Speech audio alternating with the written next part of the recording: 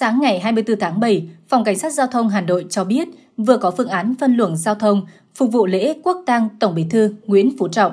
Cụ thể, trong các ngày 25 và 26 tháng 7, Công an thành phố Hà Nội phân luồng giao thông và tổ chức hướng đi cho các loại phương tiện như sau. Các tuyến đường cấm triệt để phương tiện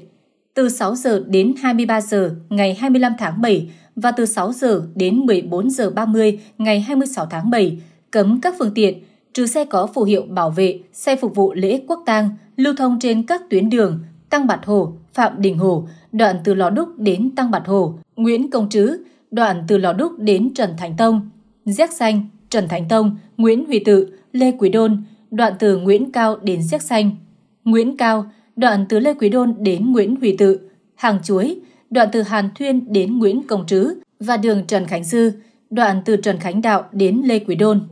Từ 14 giờ đến 18 giờ ngày 26 tháng 7, cấm các phương tiện lưu thông trên tuyến Hồ Tùng Mậu, đoạn từ Lê Đức Thọ đến Nguyễn Cờ Thạch. Các tuyến đường tạm cấm, hạn chế phương tiện gồm từ 6 giờ đến 23 giờ ngày 25 tháng 7 và từ 6 giờ đến 14 giờ ngày 26 tháng 7 tạm cấm các ô tô chở hàng có khối lượng hàng hóa chuyên chở từ 500 kg trở lên, ô tô chở khách từ 29 chỗ trở lên, trừ xe buýt, xe thu gom rác, xe giải quyết sự cố, xe có phù hiệu bảo vệ, xe phục vụ lễ quốc tang và hạn chế đối với ô tô cá nhân, xe máy hoạt động trên một số tuyến đường Lý Thường Kiệt, Trần Hưng Đạo, Hai Bà Trưng, Lê Thánh Tông, Lò Đúc, Nguyễn Công Trứ, đoạn từ Lò Đúc đến phố Huế, Trần Khánh Dư, D. Nguyễn Khoái, D401, Ngô Thị Nhậm, Lê Thánh Tông.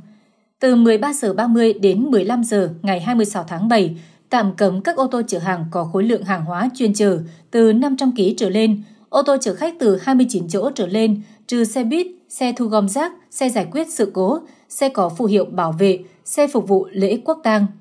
Hạn chế đối với ô tô cá nhân, xe máy và cấm triệt để các phương tiện theo hiệu lệnh của lực lượng chức năng trên các tuyến đường Trần Thánh Tông, Lê Thánh Tông, Tràng Tiền, Hàng Khay, Tràng Thi, Điện Biên Phủ, đoạn từ cửa Nam đến Trần Phú, Trần Phú, Sơn Tây, đoạn từ Trần Phú đến Kim Mã, Kim Mã, Đào Tấn, đoạn từ Kim Mã đến Liễu Giai, Liễu Giai, đoạn từ Đào Tấn đến Kim Mã, Nguyễn Chỉ Thanh, Trần Duy Hưng, đường gom đại lộ Thăng Long, đoạn từ Phạm Hùng đến Lê Quang Đạo, Lê Quang Đạo, Lê Đức Thọ, Hồ Tùng Mậu, đoạn từ Trần Vĩ đến Nguyễn Cơ Thạch, từ 15 giờ 30 đến 20 giờ ngày 26 tháng 7, hạn chế các ô tô chở hàng có khối lượng hàng hóa chuyên chở từ 500 kg trở lên, ô tô chở khách từ 29 chỗ trở lên, trừ xe buýt, xe thu gom rác, xe giải quyết sự cố, xe có phù hiệu bảo vệ, xe phục vụ lễ quốc tang, hoạt động trên một số tuyến đường Hồ Tùng Mậu, đoạn từ Nguyễn Cơ Thạch đến Phạm Hùng, Xuân Thủy, Cầu Giấy, đoạn từ Trần Thái Tông đến Trần Đăng Ninh,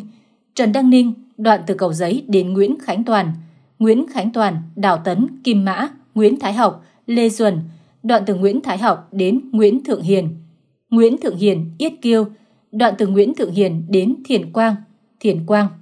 Trong thời gian trên, Công an thành phố Hà Nội tổ chức hướng đi cho các phương tiện trong diện tạm cấm hạn chế như sau. Các phương tiện từ các tỉnh phía Đông, Đông Nam thuộc Bắc Ninh, Bắc Giang, Hải Phòng, Hải Dương đi các tỉnh phía Nam, đi cầu Thanh Trì, Pháp Vân, đi các tỉnh phía Nam, thuộc Ninh Bình, Nam Định, Hà Nam và ngược lại. Các phương tiện từ các tỉnh phía Đông, Đông Nam, Bắc Ninh, Bắc Giang, Hải Phòng, Hải Dương đi các tỉnh phía Bắc, Vĩnh Phúc, Phú Thọ, Thái Nguyên, đi quốc lộ 5 tới cầu Thanh Trì, cầu Phù Đồng, quốc lộ 3 để đi các tỉnh phía Bắc và ngược lại. Các phương tiện từ các tỉnh phía Nam thuộc Ninh Bình, Nam Định, Hà Nam đi các tỉnh phía Bắc như Vĩnh Phúc, Phú Thọ, Thái Nguyên đi theo tuyến Pháp Vân, Ngọc Hồi, Phan Trọng Tuệ, Phùng Hưng, Sa La, Văn Phú, Lê Trọng Tấn, tỉnh lộ 70, Nhồn, quốc lộ 32, cầu Vĩnh Thịnh hoặc cầu Trung Hà đi các tỉnh phía Bắc như Vĩnh Phúc, Phú Thọ, Thái Nguyên, vân vân và ngược lại. Từ 14 giờ đến 20 giờ ngày 26 tháng 7, các phương tiện từ các tỉnh phía Tây về trung tâm thành phố theo quốc lộ 32 đi tỉnh lộ 70 hoặc đại lộ Thăng Long, Trần Duy Hưng vào trung tâm thành phố. Các phương tiện từ trung tâm thành phố đi các tỉnh phía Tây đến Xuân Thủy, đi Phạm Hùng, Nguyễn Hoàng, Hàm Nghi, Nguyễn Cơ Thạch, Trần Hữu Dực, Trịnh Văn Bô, tỉnh lộ 70, quốc lộ 32 hoặc từ Phạm Hùng, đại lộ Thăng Long, quốc lộ 21A đi các tỉnh phía Tây. Yêu cầu các đối tượng tham gia giao thông điều chỉnh lộ trình, hạn chế đi lên đường vành đai 3, đoạn qua nút giao Phạm Hùng, Trần Duy Hưng, đường Hồ Tùng Mậu, Xuân Thủy, Cầu Giấy, Trần Đăng Ninh, Nguyễn Khánh Toàn vào trung tâm thành phố. Đối với các tuyến đường và phương tiện khác, Phòng Cảnh sát Giao thông Hà Nội yêu cầu chấp hành theo quy định về hoạt động của các phương tiện giao thông trên địa bàn thành phố Hà Nội. Để phục vụ công tác bảo đảm an ninh, trật tự, phục vụ lễ quốc tang, Phòng Cảnh sát Giao thông Hà Nội yêu cầu tất cả các đối tượng tham gia giao thông phải tự giác, nghiêm chỉnh chấp hành luật giao thông đường bộ. Khi gặp các xe được quyền ưu tiên đang phát tín hiệu ưu tiên đi làm nhiệm vụ, phải khẩn trương chuyển hướng vào các đường ngang, điểm giao cắt gần nhất theo hướng dẫn của lực lượng chức năng để nhường đường cho đoàn xe ưu tiên. Phòng Cảnh sát Giao thông trân trọng cảm ơn người dân thực hiện và giúp đỡ lực lượng chức năng làm nhiệm vụ trong suốt quá trình diễn ra lễ quốc tang, thể hiện sự kính trọng với Tổng Bí thư Nguyễn Phú Trọng. Người dân thủ đô cần tuân thủ theo sự hướng dẫn của lực lượng làm nhiệm vụ trên đường, thể hiện sự chia buồn sâu sắc bằng những hành động văn minh, thanh lịch. Ngày 23 tháng 7, tại Nghĩa Trang Mai Dịch, quận Cầu Giấy, Hà Nội, bất chấp mưa lớn liên tục đổ xuống do ảnh hưởng của bão số 2, hàng trăm cán bộ, công nhân viên thuộc nhiều đơn vị khác nhau vẫn đang miệt mài thực hiện các công việc cần thiết để chuẩn bị cho lễ an táng Tổng Bí thư Nguyễn Phú Trọng được chu toàn.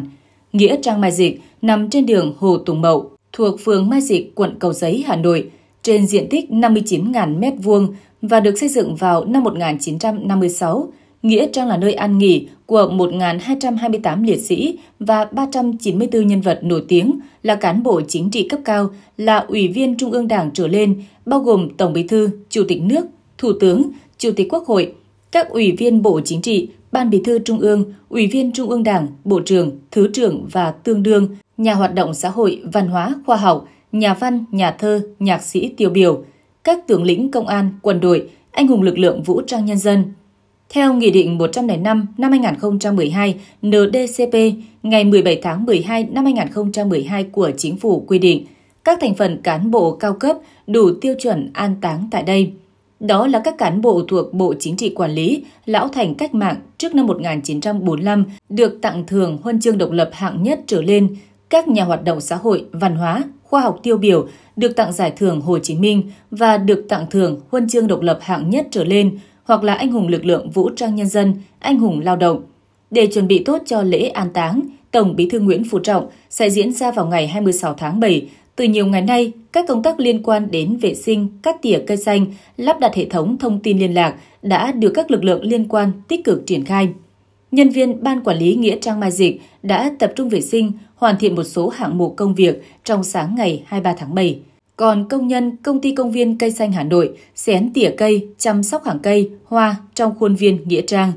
Một đơn vị của binh chủng thông tin liên lạc Bộ Quốc phòng cũng tích cực thực hiện nhiệm vụ. Trong khi đó, công nhân điện lực Hà Nội đã lắp đặt và kiểm tra hệ thống điện của Nghĩa Trang phục vụ lễ an táng Tổng Bí thư Nguyễn Phú Trọng.